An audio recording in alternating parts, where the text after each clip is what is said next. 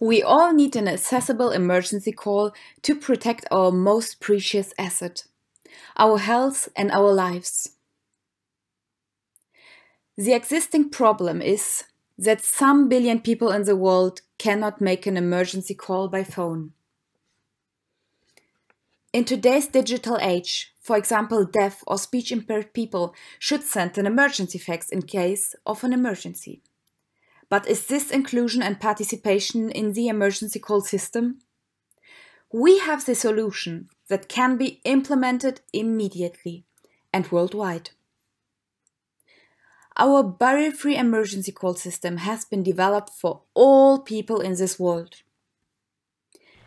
In case of an emergency, all relevant information is transmitted to the control center and first responders in a matter of seconds at the touch of a button, without a call, without language, without local knowledge and without language skills.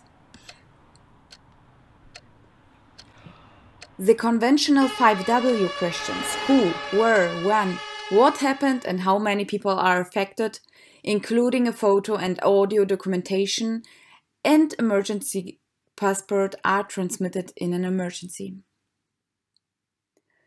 We have recognized which emergency call system people with health impairments in particular need and patented our invention for this purpose.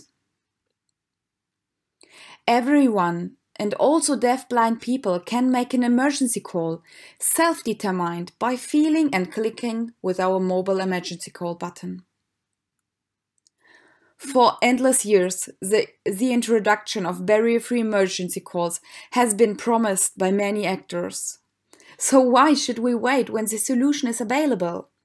Let's go into implementation together immediately and start the accessibility in the emergency call system to help all people.